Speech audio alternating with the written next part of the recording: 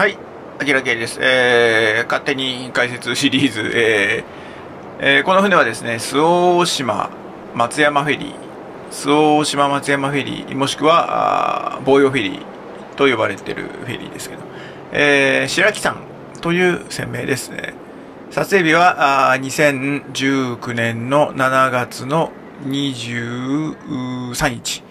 えー午後3時過ぎに松山を出る船で、えー目的地は周防大島と。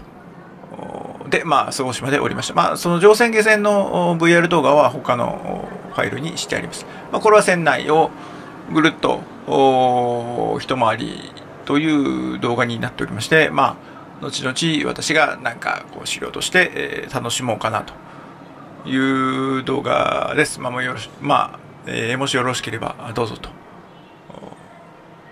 いう感じです。えーご覧ください。